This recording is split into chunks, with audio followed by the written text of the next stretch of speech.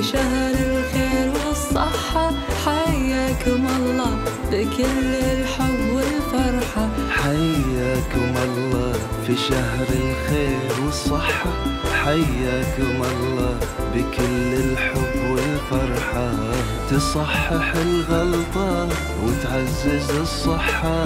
وندى يا الله تحفظ لنا البحرين. رمضان كريم وتقبل الله صيامكم وطاعاتكم. مثل هالحزة كل يوم نطلع عليكم في برنامج الليوان.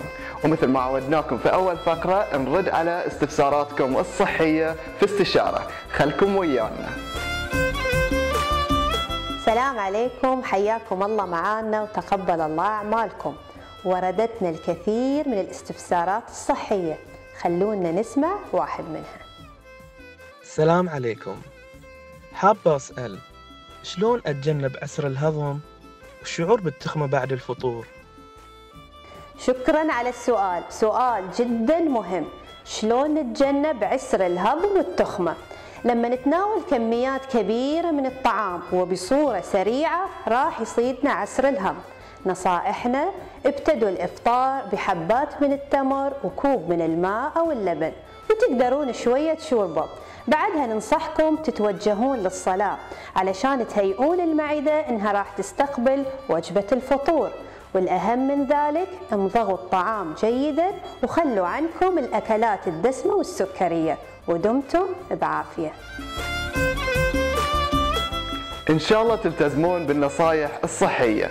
الحين من استشارة بنروح وياكم لمطبخ رمضان. خلكم ويانا. السلام عليكم.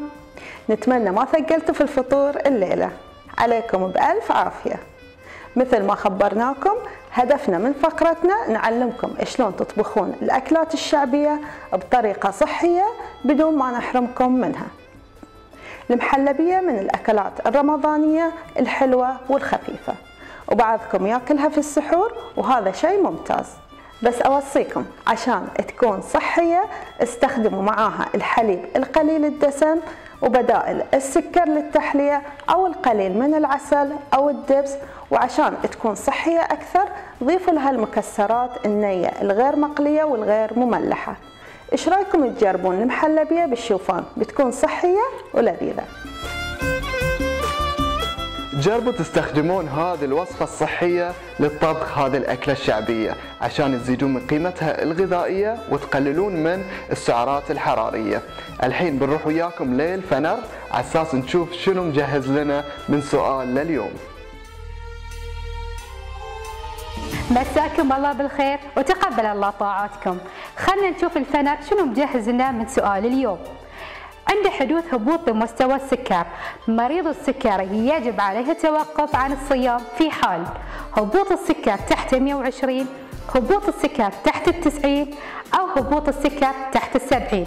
عندكم عشر ثواني تفكرون وتحدون معلوماتكم.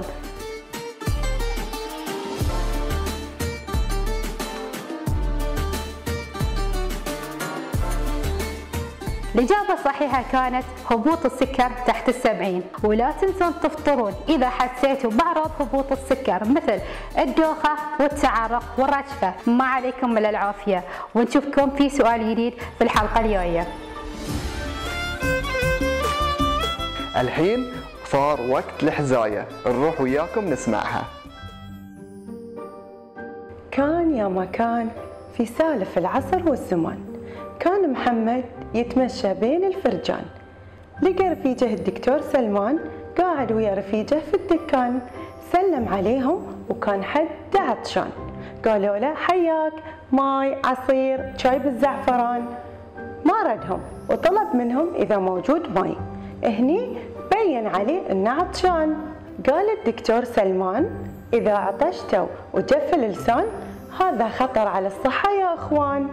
ونصح له بهالنصيحة وقال خلوها تركية بالأذان شربوا الماي باستمرار بتتفادون العطش والأخطار وشربوا ثمان أكواب طول فترة الإفطار.